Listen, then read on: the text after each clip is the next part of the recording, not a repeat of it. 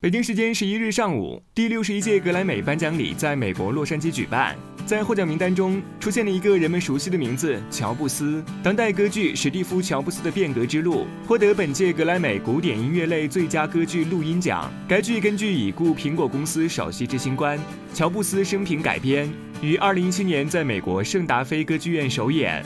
史蒂夫·乔布斯的变革之路讲述了如何处理生活、家庭和工作。这是一部关于两性关系和人性弱点的歌剧。非凡娱乐实时报道。